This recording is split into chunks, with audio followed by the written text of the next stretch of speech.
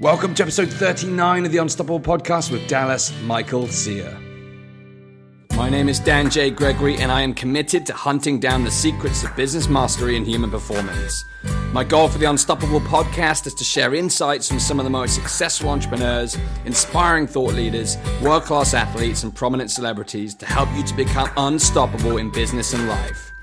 Each week, I'll be bringing you a new interview with an inspiring person and sharing my own results as I pursue the answers to the question how can I create the ultimate edge in my business, make a significant impact, and live an extraordinary life?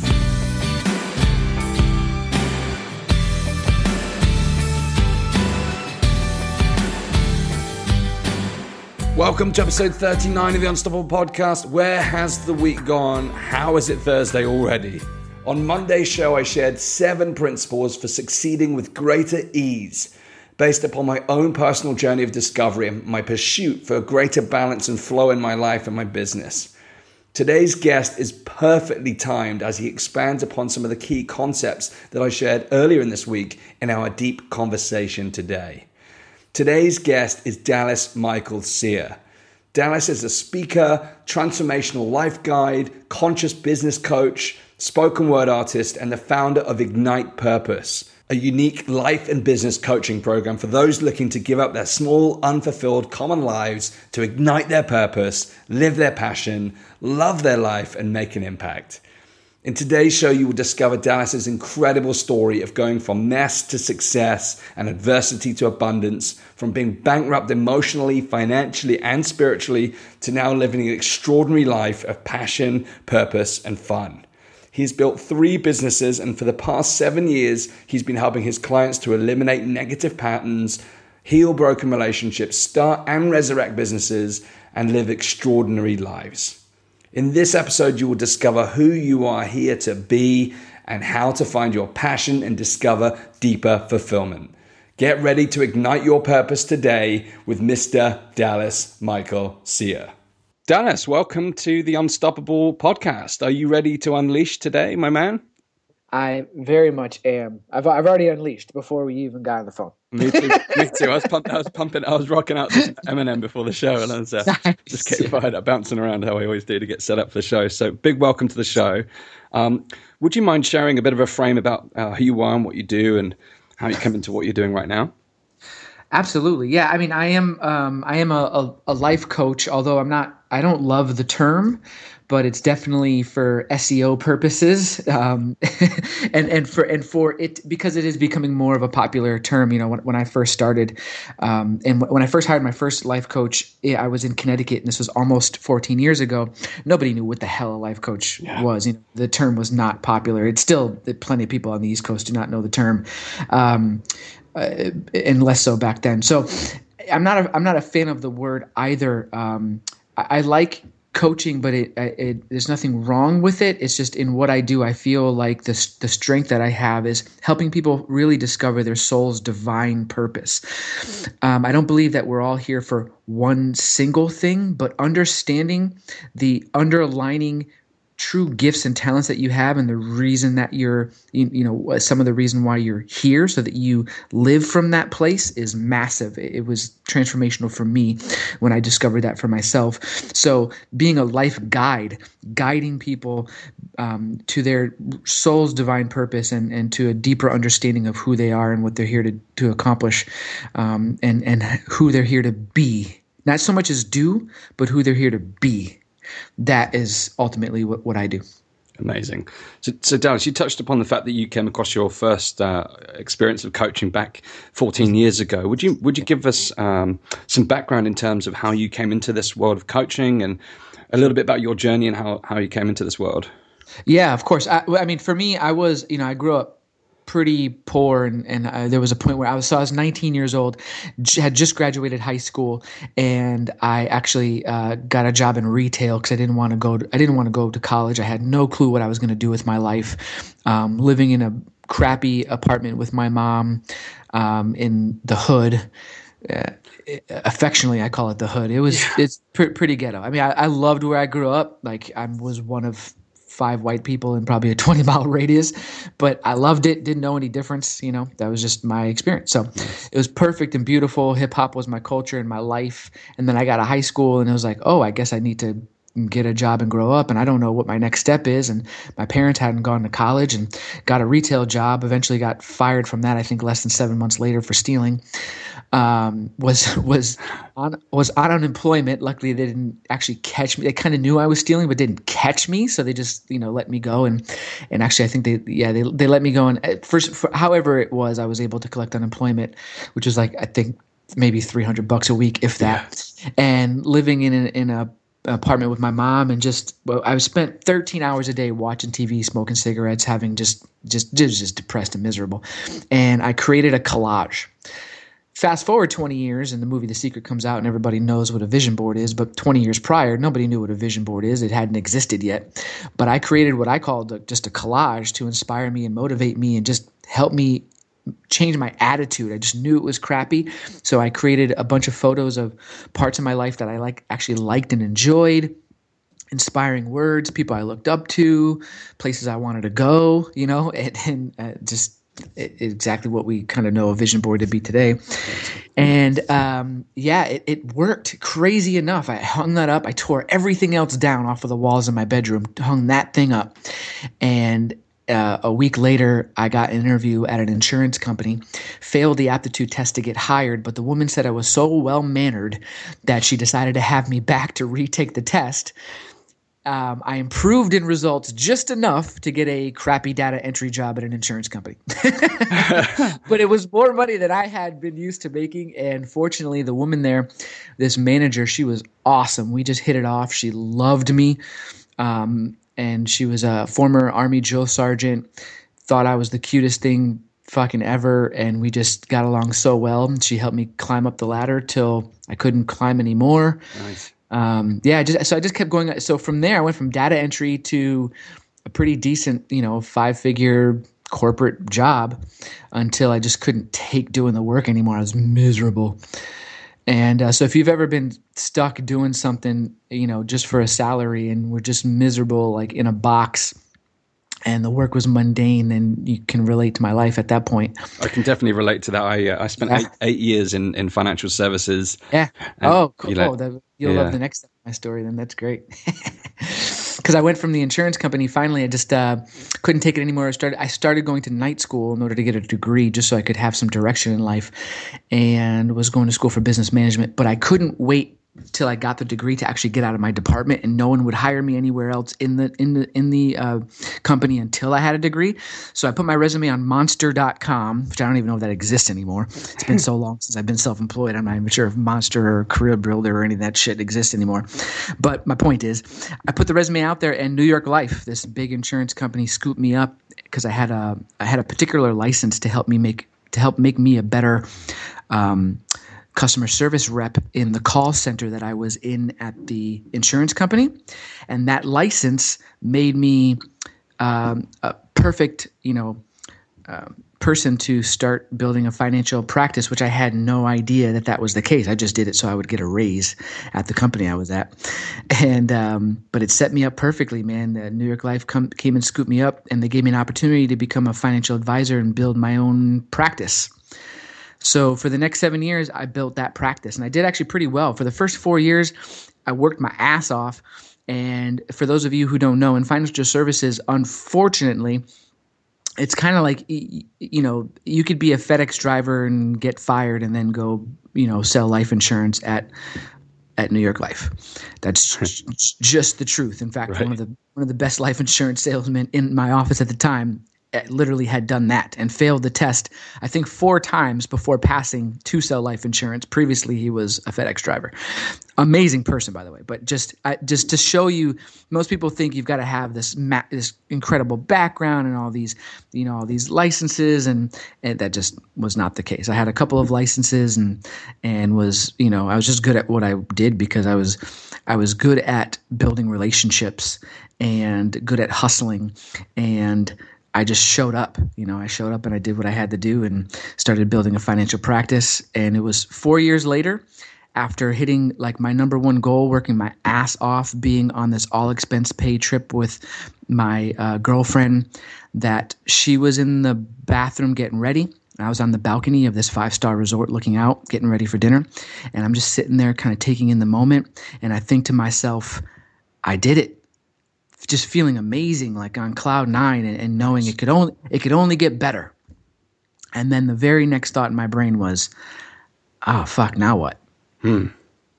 And then I just, it was crazy how I had been rushing so, working so hard and rushing so much from thing to thing, distraction to distraction, event to event, uh, sale to sale, that there was never any space in my life at that time, zero space in my life for me to actually pay attention and hear what was going on internally. As soon as I had that space, even just for a millisecond, it was amazing the awareness rushed in. I had the thought, now what? After having the most amazing feeling in my body that I had done something magnificent, which really wasn't all that grand at the at the time, but it felt like it was. And friggin' the very next thing, I just spiraled into depression, realizing that the girl in the bathroom was not the one I wanted to be with, and we were friends at best. She was more like a sister, which was, uh, you know, the gross if you think about it. But, uh, but, but what I'm saying is we didn't have any sexual attraction. My friends were awesome, great people. I had been friends with them for like 16 years, but we were just going in different directions. We just appreciated, liked different things. You know, things I was starting to get into, they weren't, and so we did. We had less and less in common. Um, you know, although I was doing okay financially, it wasn't where I wanted to be or expected to be, and it was so hard at the time I thought it, it just everything was fucking so hard. Like it mm. was it was a struggle to get up. It was a struggle to get on the phone and make the calls. It was a struggle. Everything was hard and heavy. And I and because I was running at such a speed, I didn't recognize any of this. Once I did, I just ended up feeling so disconnected from my life and recognized that what I was doing wasn't really bringing me any joy. And I just didn't want to do it anymore. It's crazy. I mean, I, I, had I had a very similar experience, and mm. just just speaking to just hearing you speak, it put mm-hmm. me in, mm-hmm. in the moment of brings when, it all back when I was there. And it's true. You end up in some kind of like warp. You're in like a warp. Yeah. It, yeah. You get so involved, you don't even stop to breathe and look around you. You know, I remember working like eight till eight, like really pushing it. That heavy, hard feeling. You don't until you get that moment where you can just have that clarity and see, you know, step out. It's like if you held your head underwater for too long, you're going to freaking drown. Whereas once you put your head up above the water, you can breathe again. You're like, and then it sounds mm-hmm. like you had that moment where you're able to breathe and all of a sudden see that what, where, what was I doing in that warp? This is not who I am. Right. Totally. Yeah. It, that's it. hundred percent. And and the other thing is, is like making everything external. So you're in that warp. And for me at the time, everything was externalized. It was about the car, the girlfriend. It was about you know um, the the suits and how much money I was making and and what what the and and what the next level was. So I, I was in I, was playing the game of achievement and externalizing everything. And you know I, I can tell whoever is listening if, if you're in that game or um, or, or think somehow anything external in your life is going to be the solution, you know, it, it's not. Period. Period. Hate to hate to bust your bubble. so, so from from those moments, then we had that moment of, of, of clarity, and that you wanted to make the change, and you know, you realized these circumstances that you'd created weren't weren't you know weren't lighting you up. They weren't fulfilling you. The external yeah. was just um, kind of uh, a reflection of where you were. Mm-hmm. What what changed f- from that moment? Oh, things got massively worse. Wow. Yeah. Oh, it, it got so ugly. Holy shit, man. It's it's awesome as I think back. and Like now I can think back and like laugh at it amazing how bad it got. The, so here's the irony: I had already hired a life coach to help me because I thought the person that it was was that I had hired not already at the time that I had this epiphany. Shortly after, when things started to spiral down, I hired a life coach because I'm, I'm the type of person when I when I recognize something isn't working, I can't just keep faking my way through it. You know, it, it, my my background was tough growing up as a kid we didn't have a lot of money but one thing that i that just came natural to me because my parents allowed me um, it, it, ma- mainly they allowed me because they didn't really parent me. That's that's kind of the truth. But but still it, it opened up a space for me just to kind of figure things out on my own and just do what felt good, you know? And so I stumbled into hip hop and and I was a b-boy and a graffiti artist and a, and a, a battle MC and all of those things allowed for real self-expression. Mm-hmm. Like just to do what felt good, what was authentically me and and not to be in my head and, and, and really to be in my body and to kind of be an artist, you know, for, for the most part. And a, and a performer. And so I bring that up because it, it was I, I, was naturally someone who could live from an authentic place and express myself authentically and kind of trust my gut. Those are those are things that kind of that, that came intuitive at, at an early age. And so it's I guess it's one of the, the the blessings of being left to kind of fend for yourself and have no real guidance or parents. You know, there I had friends, but I didn't have anyone really parenting me. Mm. So um, because of that, I was I was I lived from a very raw, authentic place. That was my experience. That's one thing about the hip hop culture is, you know, there are, of course there are a few folks here and there kind of faking it and and pretending to be something that they're not. That's everywhere. But for the most part, the group I was hanging around with was very just raw, real, authentic. And so when I recognized I was no longer doing that and how far I had gotten from being just me, I couldn't do it anymore. Mm. I stopped working. I just started playing golf all the time. Um, I slept till noon. I would go into the office at, at kind of off hours, hoping to not see people. Um, and and you know kind of a, avoiding people i wouldn't call i wouldn't make calls for sales anymore and or a lot less anyway, unless I had to. Yeah. Um, if clients didn't call me with like, "Hey, I've got a rollover, I've got a big check. What should I do with it?" Like, I didn't work. I basically didn't work. My expenses continued. My office continued. My assistant continued. My life expenses continued. So once all of my all, all my savings were burnt out, and I and I was spending more than my renewals were coming in, I just charged it. If I couldn't afford it, I charged it. So I went seriously into credit card debt. Yeah. Um, I friggin' was scrambling uh, out of like out of uh, desperation to try and make things work, and it, it just got heavier and heavier. I, I, I became so shitty to be around. Like my my friends were just like I could feel them pushing me away and just wanting to spend less time with me and, and me with them because I just felt crappy. Um, my girlfriend broke up with me, which was crazy. Um, but it, it, it was perfect and beautiful, and um, yeah, I ended up I ended up getting I ended up moving back home and living in a in my parents' basement. Wow, how old are you at this point? Uh, thirty. Yeah. Yeah. Wow. It was crazy. so for for the next two years, things just got real bad until I put on some headphones and and just started. So I, I had done some personal development. This is the thing, right?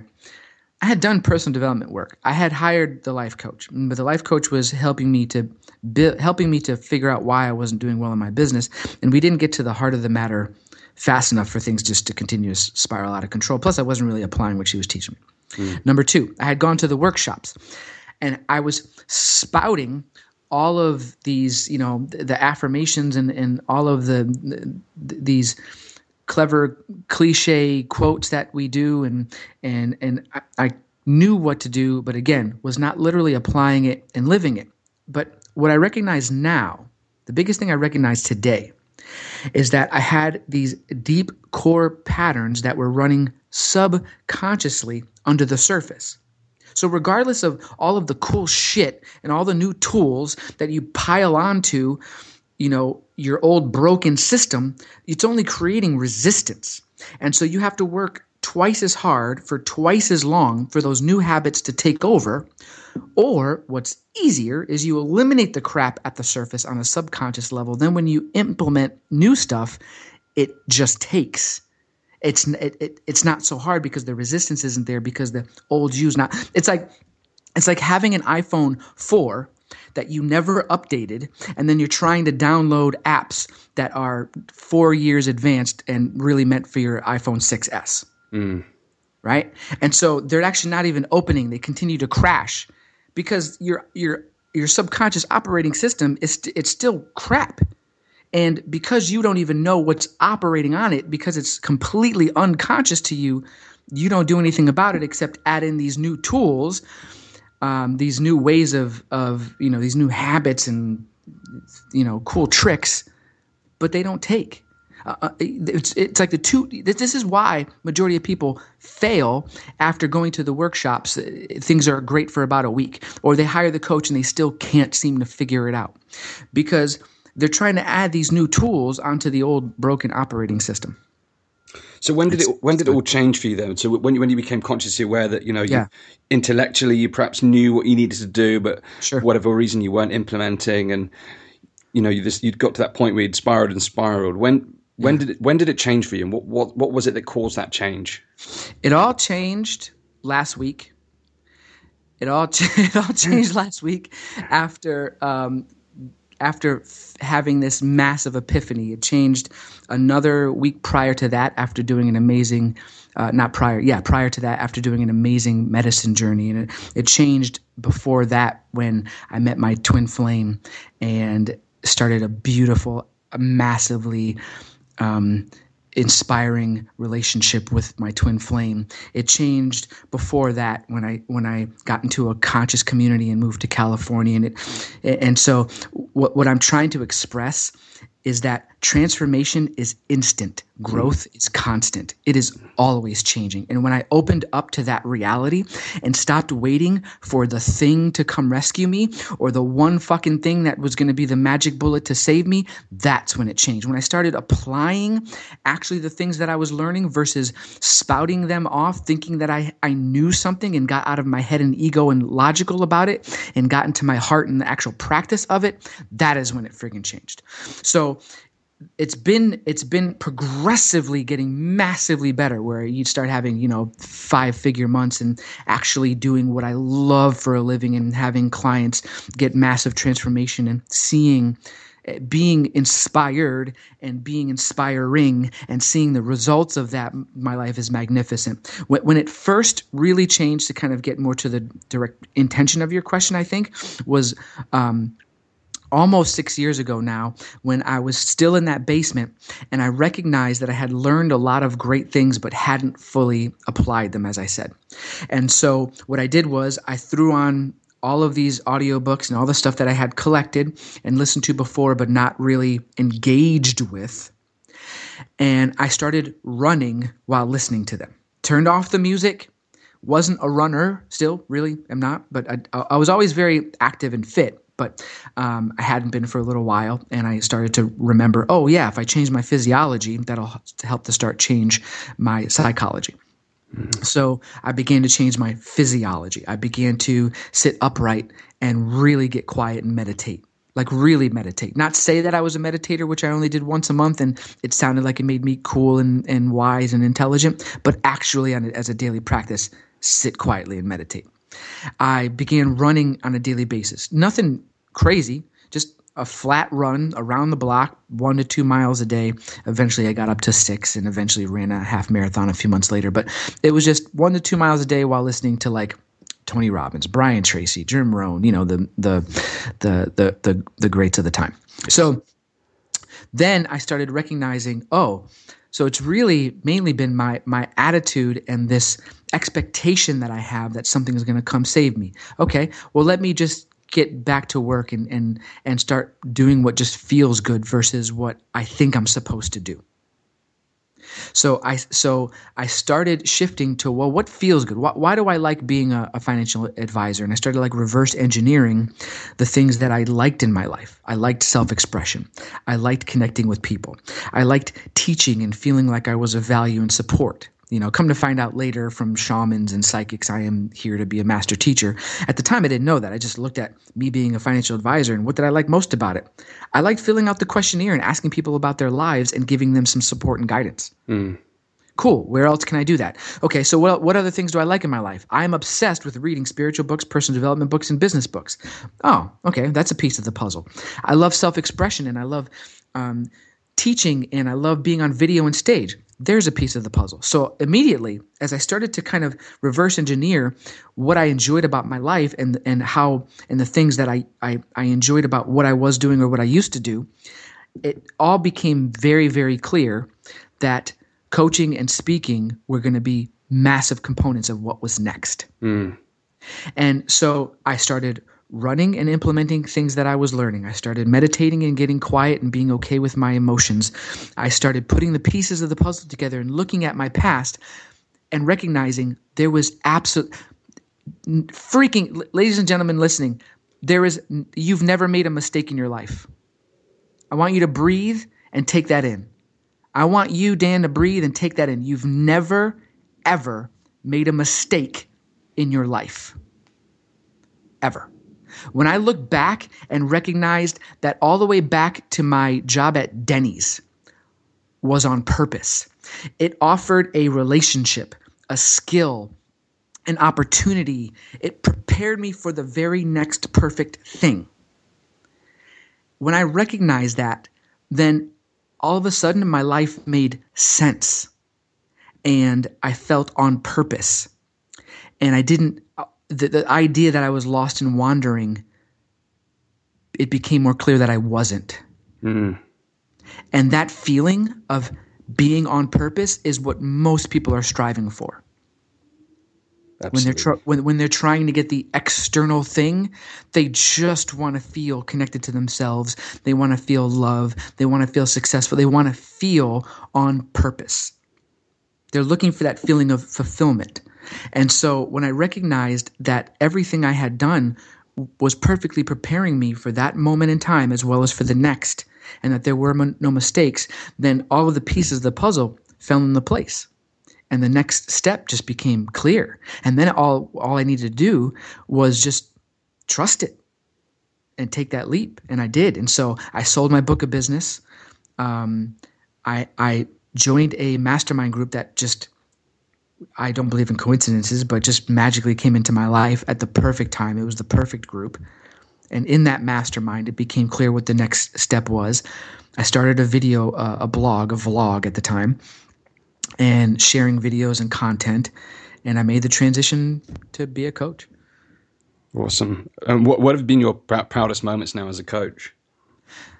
Uh, recently, actually, uh, obviously getting video testimonials. I, I, did a I did a, a group program uh, a, a, year ago, and had my first like live live experience with people. And there's seven people got together after a 90 day online program. I had them all come together for uh, a one day event, and it was just amazing. And to see their transformation, to get their testimonials, and also to to take them through the experience of that day. So that's been one.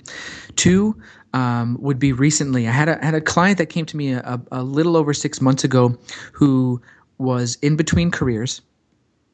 Uh, wasn't sure what the next step in her life was going to be. Didn't have a lot of money at all. Was actually uh, just scraping by. She had some savings, but was just scraping by paying her bills by doing some coaching at a CrossFit gym and was living. She was actually sleeping and living in that gym. She hired me yeah. And this is I want everyone listening to understand this. When you are aligned and are willing to trust what is in front of you as being the answer for what your soul is calling out for. I get so many people who are like, I want the money, the fame, the success, I want the business, I want this. And then all of a sudden I show up as the coach, as the as the guide and the pathway to help them get that. And it's in front of them and they shut down and say no and their shit comes up and they're not willing to walk through that judgment, that fear, that anxiety, that stress in order to get to the other side and actually hire me or do the thing to have them get what they say they want.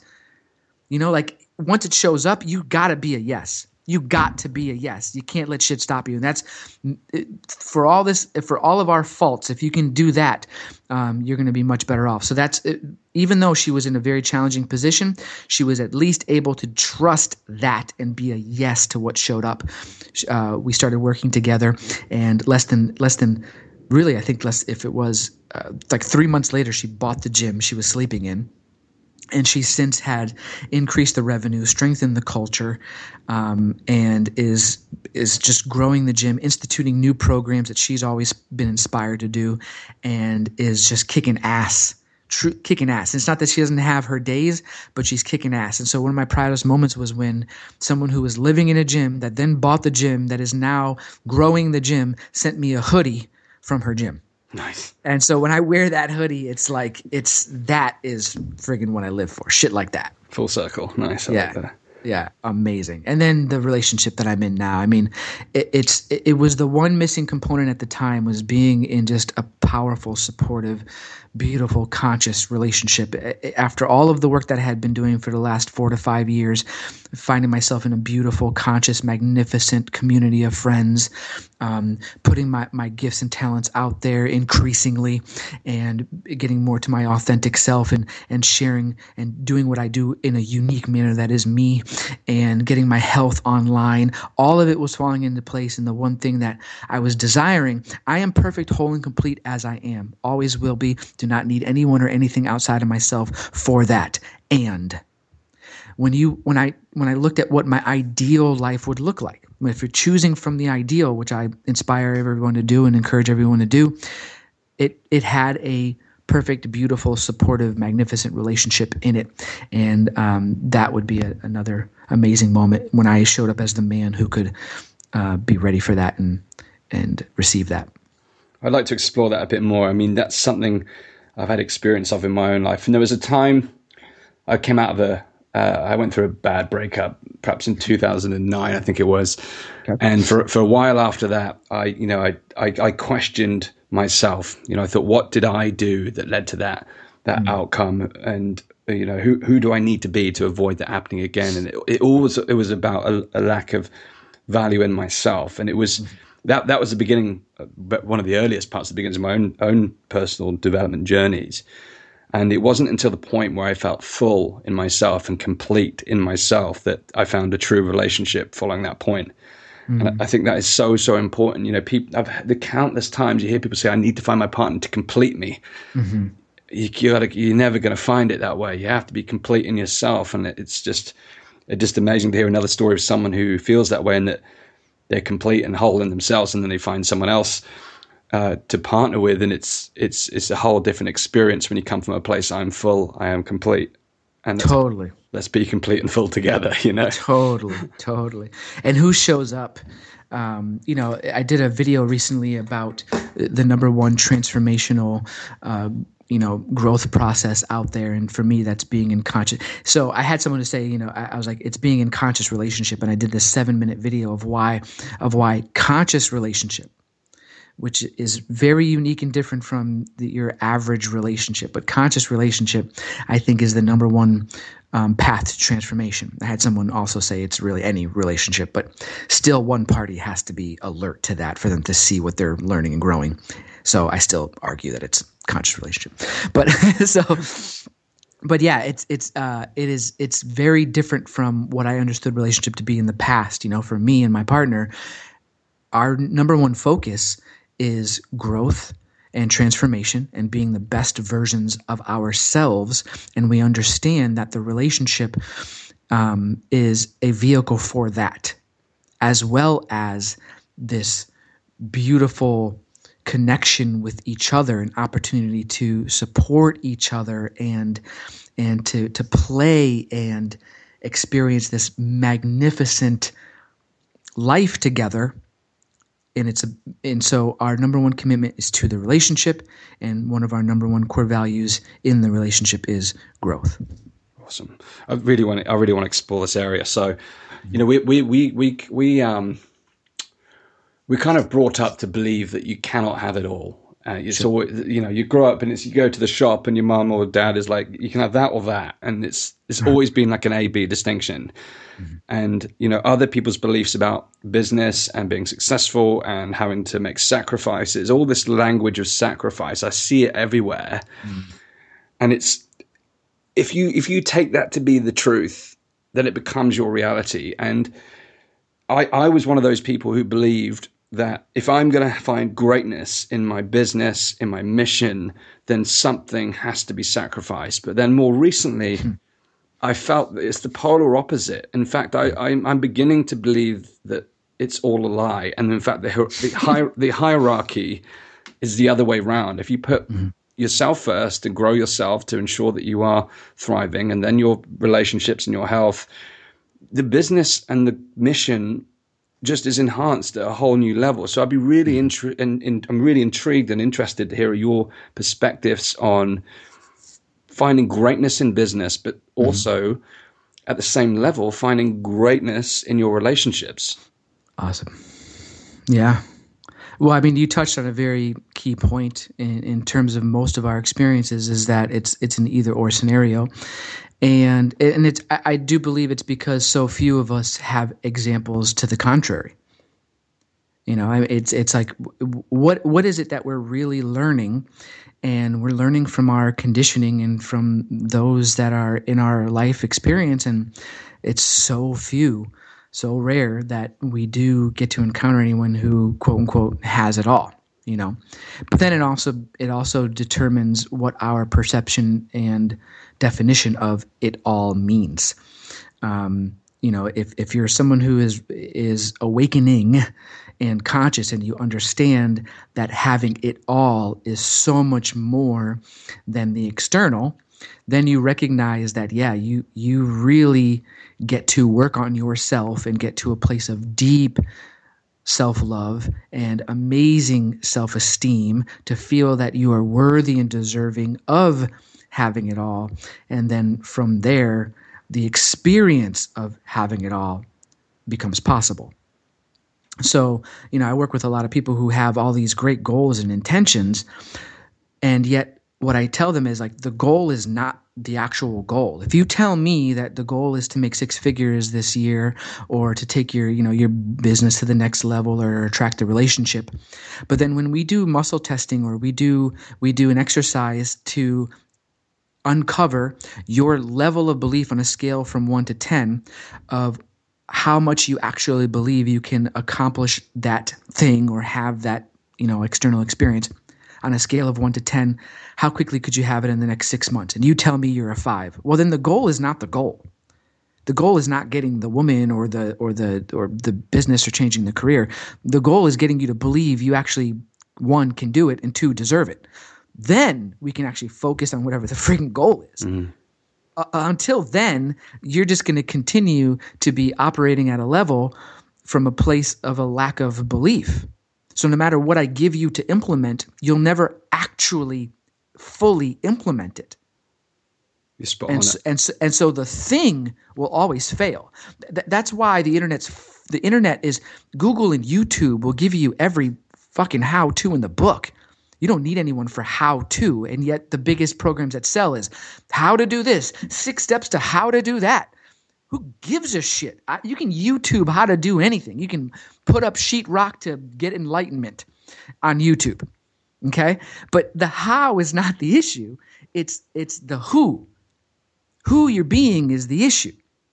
So if you if you're not someone who actually believes that it's possible, or you have your old patterns and beliefs that are still running that old operating system underneath that says you don't deserve it, or that you're not good enough or smart enough, then the how is gonna it's it'll forever be irrelevant, forever be irre- irrelevant. So the point that I'm getting at is you saw that um, I had done the Ultimate Life Summit, right? I had done this amazing summit, had these powerful speakers on, like 22 different magnificent speakers, talking about what it means to truly have it all. Because my experience was I either met people, as you're speaking into, who had great businesses, very financially successful, everything looked great on the outside, but who they were being was kind of you could I've always had personally, I'll just speak for myself. I've always had a pretty good radar for whether or not people were showing up clear or authentic or if they were just needy or if they were, you know, pushy, even those who thought they were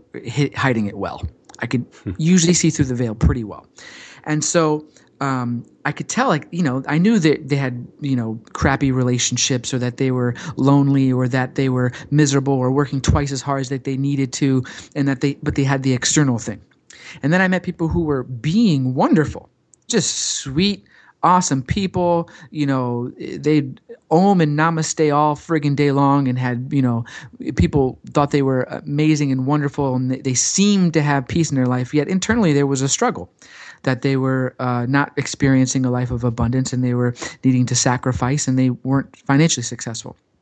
So it's always been this either or. And it wasn't until I started really stepping into being the full expression of myself and kind of attracted and created this life around me that I started to actually meet people who had beautiful relationships, this harmony in their life. I don't believe in balance, but I believe in harmony. They had relationships that were serving their their business and businesses that were serving their relationships. And they they weren't sacrificing and things were only getting better. And when I actually saw that I was like, wow, so it's possible. So how many people how many of these people that I have as examples in my life can I get onto one summit? And just doing those interviews and hearing what people shared, it transformed me it, it deepened my level of belief that it was possible. And what I recognized is, is there's this harmony between being and doing. There's a harmony between the masculine and the feminine energies inside of us.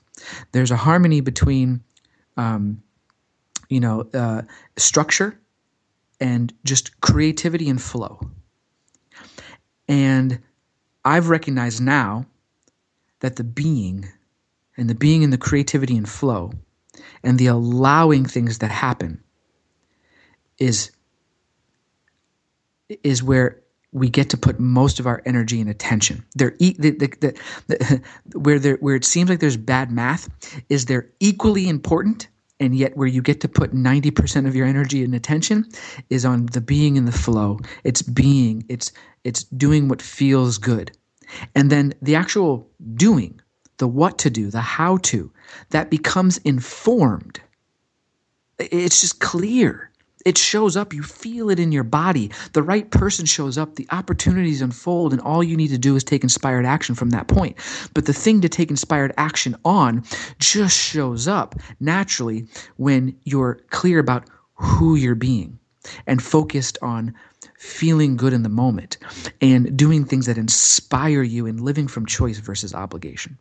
Awesome. Uh, so, to help illustrate that point, then can you can you share some experiences or stories from your life where you discovered the being who you were supposed to be? You know, what what things took you from the external to discovering the being who you want to be and how you want to show up in this world? Mm, thank you. Yeah, there was one. So when I when I first there's a couple couple of stories. When I first started making this transition, I, I mentioned earlier that I, I, was fortunate to be inside of this uh, amazing mastermind. And it was like six or seven of us meeting at a friend's house, and we would meet each week.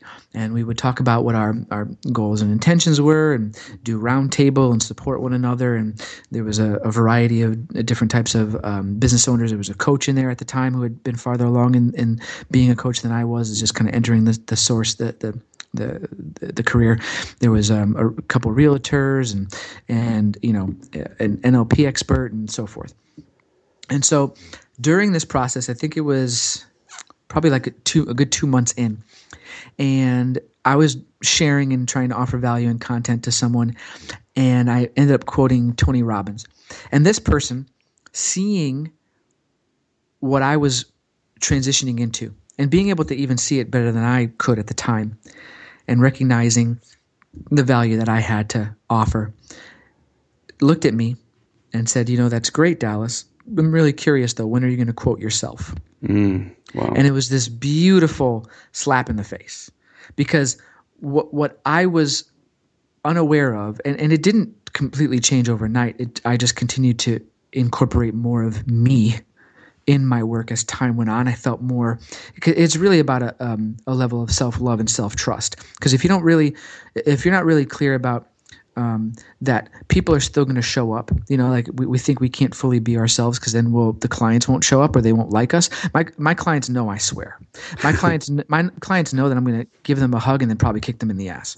You know, my, my clients appreciate the authenticity and the level that I play at. My clients appreciate that if we're on a video call, I might look sweaty from the gym. I'm not going to be wearing a, a, a you know, a, a button up shirt and you know I, have, I, I can totally dress to the nines. I love doing it. And and and yet that's that's not the first thought in my head. My clients know that i'm i'm going to um, even when it's uncomfortable i'm going to continue to hold them to the epic divine beings that i know that they are. So but in the beginning i didn't trust that. I, I thought if I didn't, if I if if I showed up a certain way, I'd scare people away, and or they wouldn't appreciate me, or I wouldn't be professional right? Especially coming out of seven years of being a financial advisor and taking the earrings out of my ears and unbraiding my hair from when I was a, you know, breakdancing and doing hip hop to putting on a suit. Um, so I kind of forgot how to be me. When this person reminded me that the most important thing I could do was be me, to quote myself, like be be the Tony, be you. Don't worry about Tony Robbins. Mm. It's fine to be inspired by those people, but it, and and to to maybe look at their systems and what have worked. And yet too many of us unknowingly are just we're just carbon copies. Even if we you know I, I, know people who will defend it to their death that that's not the case because ego wants to protect. And really they're just they're just they're showing up as everyone else. I mean it's like it, it's there's so many coaches nowadays and eh, so many of them are just saying the same old shit. And so this person just so beautifully and in a supportive way as I'm sharing something that I, am just totally in it. I'm feeling good about what I'm saying. It, it's I feel like it's clever and smart. And then they say that, and it was such a pattern interrupt. It stopped me dead in my tracks. I was like, oh yeah, what's my voice? You know, and that that was one of my favorite times that that that, that happened. That began the process of becoming more authentically me. And now, you know, I do spoken word poetry and it's amazing because I'll share content videos and i'll get great responses from the videos of content that i share. People will appreciate it. I get great comments. Um, it's amazing value and it's raw and authentic and and they're great videos. And where i get the most engagement is when i do a four minute spoken word poem and people see the videos and they're just you know they're they're blown away. And then then they want to know more about me and then they end up coaching with me. So it's really interesting how it happens. But the more authentically me I am, the more. It, it, so a quote that I have is that the, the world will accept you wholly to the degree that you accept yourself. The world will accept you wholly to the degree to which you accept yourself. Powerful. And the, the, the more I step and own that, the, the more magical my life becomes because you are magic. We forget that. You are magic. It's that simple. That's an amazing story to, to give context to uh, to what we what we were talking about, and mm. again, it's just taken me on a journey because there's there's so many things from our early life that influence the way we're shaped in our mm-hmm. later life, and often we dwell upon the things that perhaps have negatively shaped us, when, particularly on the journey, and you look at how belief systems have been ingrained that have perhaps held us back. We're always looking for what's held us back, and how do we how do we how do we shift those limiting beliefs?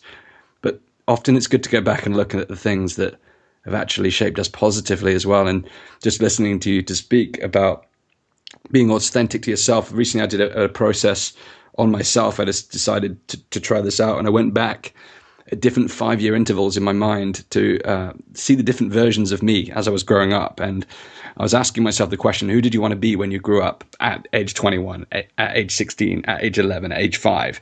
And all these other questions came out. And it was just amazing to look at the journey I've been on and things, just things like being a 16 year old kid who was into like punk rock and heavy metal and dyeing his hair blue and having this anarchic energy within me, this like free spirited um, animal who had just transcended from this really quiet 11 year old boy who was intimidated by the world into this blooming creature and then going into university and have that expand even more but then going into the corporate world and having all of that, ne- like the uh, uh, oppressive nature of corporate, and you can look at anything in two different ways. And again, using the same context of the conversation I just said, but the thing is about the where, the way I say it's oppressive is that there's certain paradigms and belief systems that are institutionalized, which then force you to conform with those institutionalized paradigms. So, you know, rocking up in a, a, suit. And again, like yourself, I love dressing up. I love dressing smart. I love rocking an amazing suit. I'm in the market for a brand new suit right now to look sharp. But I freaking love just having my rock and roll lifestyle and being the kid who is 16 years old again. And one of the th- things that, that's come to me over the last few weeks is I've started listening to all the music I listened to when I was 16 years old and watching the films like Wayne's World when I grew up was like such a pivotal film in my life, know, Mike Myers and all these influences that I'd kind of parked because I had to have this corporate world. And I even listened to myself on this podcast and I still hear the corporate Dan. Again, there's no negative to that. But the, the, the authenticity is now coming through of the freer Dan and that concern that, that you can put on yourself. And this is a concern I've been having and it's something that I'm eliminating I think that if I show up fully in myself, I'm going to freak people out. But actually, I'll only freak out the people that were never meant to work with me anyway. Whereas if I show up, I just did a webinar and I was like full out the entire webinar. I, I, I had to lie down afterwards. I was I was so tired. I just gave it everything. That was full Dan, and I was like, that's how I need to show up. And if people listen to that webinar and think that guy's nuts, great, go away. You're not my people. Whereas you come to the webinar and you're like, damn, this guy is on fire. He's passionate. He's explosive that's fine. That's me. And I think, you know, just listening to you speak, it's, you know, I'm taking a lot on board from what you said. And um, it's, it's, a really powerful conversation. And I, and I want this conversation between you and I, Dallas, to be that jolt to someone else to think if they're in that warp, you know, we talked about the warp earlier on, to take a, take a, take a step out of that warp and have a look at what are they doing? What are they passionate about? And go through that reverse engineering process you talked about and ask themselves, are you expressing yourself as truly who you are at the being rather than the, all the titles and things that you have on your business card? So uh, I want to thank you and honor you for, for, for some, some really insightful um, conversation. I'll emphasize the point right here is that what you were just sharing, I think really highlights what I was saying in the beginning that there, there's zero mistakes in our life because you're you're beautifully going back to what made you you and what was so perfect and beautiful about you naturally and organically from your youth. And then you're saying and i can still hear some of that corporate me and that's okay. Exactly. That is okay. Because there is a time to be professional and to bring that in and to make it work with the original authentic person that you were. And it's now just more of who you are authentically. That's why there's just no mistakes. I see so many people discount their past or say, I got off my path, or I was on the wrong path, or I, I spent so much time making mistakes because I was hurting this person or doing drugs. I don't care if you were a heroin addict living under a friggin' bridge. There's no mistakes. Period. And helping people to understand that and see that every single challenge in their life has been actually their greatest gift is really what I'm I'm good at on top of helping people find their divine purpose. So let's move from there into the final round. Dallas, it's been some amazing conversation today on today's show, and hopefully the listeners have really internalized a lot of the things we've we've talked about today. But to wrap it up, I've got three final questions for you to finish the show today.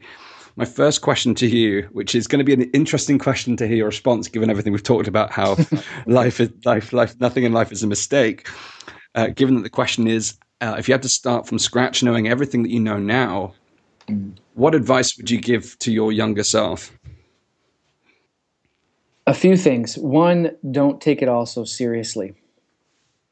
So, um, you know, I'm I'm someone who believes that this whole transformational, personal development, being the best you, uh, having a successful business. I'm I'm I'm an advocate for all of that being actually fun and easy and it being light and it literally being fun, that the journey being more enjoyable and more exciting than any of the momentary achievements that you are now striving for, that the actual journey in between, the process of it, be more fun than anything else, that you really, really like stop taking yourself so friggin' seriously, like laugh at yourself. Because I end up I, early on, I, it would get so heavy and so stressful for me, and I would take it so serious. I wouldn't be much fun to be around. I'd make things much harder than they needed to be. Um, I got I would get into perfectionist mode and put out less you know less value and less content because it wasn't perfect enough. I judge whether or not people liked it. I mean all of this piled on top. It's like trying to run a marathon in you know a lane filled with mud carrying a suitcase of bricks. So i'd say one just don't take yourself so damn seriously. Like this this gets to be fun. Just have a blast with it. Laugh at yourself. It's not a, it's not that big of a deal. No one gets out alive anyway. It's not that big a deal Um, just, I just want to touch on one point there before we ask the next question around perfectionism. This is something, again, talking about nothing being a mistake. Uh, I, I, was asked this morning by my coach, um, "Am I on track for this year, and what would I do differently if I could go back and do things differently?" Um, and I said perf- the word perfectionist came up. Mm. But again, if you frame, if you look at, say, someone like Steve Jobs, would you call his work perfectionism to create what he created with the iPhone, or did he just have high standards? And mm. I think perfectionism is another word that's banded around as a as a negative word, but it's just really the meaning you give it. If you, if, you know, perfection is a standard that perhaps doesn't exist, but if, if there's a word closer to perfectionism that embodies high standards mm-hmm. and knowing what you want to create and making it the way you see it, you know, like a Picasso sees the canvas before he creates it. That's yeah. not perfectionism. That's a standard of a vision that you want to achieve. And there's a diff. I'm beginning to learn there's a difference between perfectionism and that level of standard. I just wanted to touch on that. Mm, I like that. Yeah, if you if you have an ideal and you can hold yourself to that vision and that ideal and it drives you so the, the where where i see it going wrong for people and they're getting trapped in this perfection it's really because they're either scared to fail or scared to be judged or or they're coming from a place of i'm not enough or i'm not good enough or it's not enough mm. and so what that does is it keeps them from producing that's the difference. They, they, yeah. produce slower and less. If it's a vision that drives you and inspires you, and you hold yourself to a higher standard, and it it, it causes you to produce, we're not talking about the same thing. That's yes. the difference. Exactly. I agree. Yeah, I think that I think it comes from creative energy rather than fear energy when you're doing it for, exactly. for, for, an idea. Bingo. Cool. And the second question is, what is the most game changing piece of advice that you've ever received and then implemented? Uh, quoting yourself you know, we see so many people out there even now, all the coaches just re-quoting and retweeting other people's memes and, and promoting other people's stuff, which is great. There there are moments when I'll do it. I don't think I'm the only one and my only voice. In fact, in my coaching itself, I do incorporate other people's programs and give people credit. Um, but really owning my authentic voice, like being showing up as you. You know as i mentioned i started doing spoken word poetry and i get off the stage and people are more excited about that than anything else that i've said. And it blows me away because it's just uh, it's a it's me performing and just having fun. And it ends up being what inspires people the most is when i'm the most myself and authentic it, your tribe shows up. So just be you period. Heck yes i love that. And the final question is what does it mean to be unstoppable to you what does it mean to be unstoppable hmm. I can go into so many different directions in that. For me, being unstoppable is two things it's having an unshakable trust in myself that there's nothing in my experience or journey that I can't figure out or that isn't that everything in my life is there to serve me. It is for my highest transformation. It's for me. Nothing's happening to me. And because of that, then I can fully trust myself in my life. And also being able to be quiet and let Source and God and, and the universe operate through me me being a conduit for what's supposed to happen here versus thinking that I'm driving the bus and letting ego drive the bus. So I'm not here making it happen. I'm here being a conduit of love and creativity and I'm allowing it to happen. I'm allowing source to operate through me. And so I become a channel um, versus having to make it happen, coming from a place of being versus doing, from allowing versus making. One has weight to it, and the other one feels much lighter for me.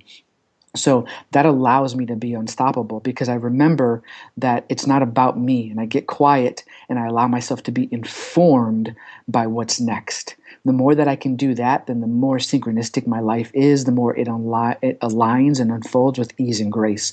If I do that and then continue to trust myself and my abilities and know that everything that's showing up is showing up um, for me and I'm fully capable of handling whatever it is and figuring it out, then it's easy to be unstoppable because it, I'm just clear that my life is unfolding perfectly for me and I get to enjoy the ride.